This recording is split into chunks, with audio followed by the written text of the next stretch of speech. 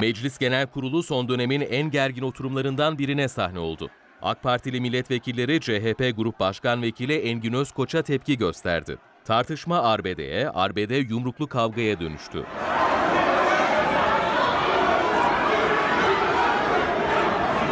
AK Parti milletvekillerinin tepkisinin sebebi Özkoç'un genel kurul açılmadan önce düzenlediği basın toplantısında Cumhurbaşkanı Recep Tayyip Erdoğan'a yönelik kullandığı ifadelerdi. Meclisi yöneten Başkan Vekili Süreyya Sadi Bilgiç oturuma ara verdi ama tansiyon daha da yükseldi. Sıraların üzerine çıkan yere düşen milletvekilleri oldu. Kavga dakikalar sonra yatıştırılabildi. Meclis Başkanı Mustafa Şentop açıklama yaptı, CHP'li Özkoç'a tepki gösterdi.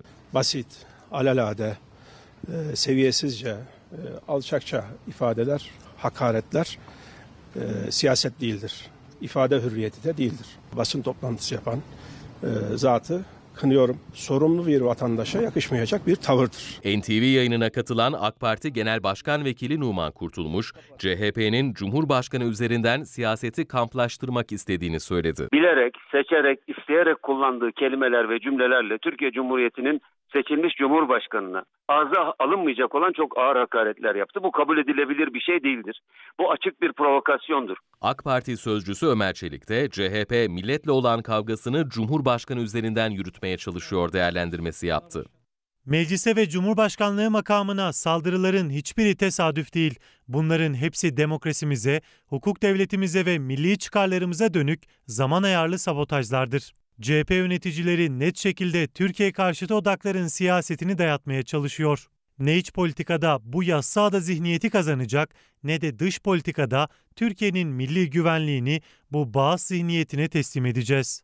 Cumhurbaşkanlığı sözcüsü İbrahim Kalın da Özkoç'a tepki gösteren isimler arasında yer aldı. Söz insana mahsus bir haslettir. Bugün edilen o sözler söz değildir. Bir insana ait olabilecek sözler değildir. Türkiye Cumhuriyeti devleti ve milletiyle ne zaman bir düşmanıyla mücadeleye başlasa CHP zihniyetinin maalesef bir şekilde ortaya çıktığını ve bu düşmanlarla aynı safta yer aldığını görüyoruz. Ankara Cumhuriyet Başsavcılığı CHP Grup Başkan Vekili Özkoç hakkında Cumhurbaşkanına hakaret suçlamasıyla resen soruşturma başlattı.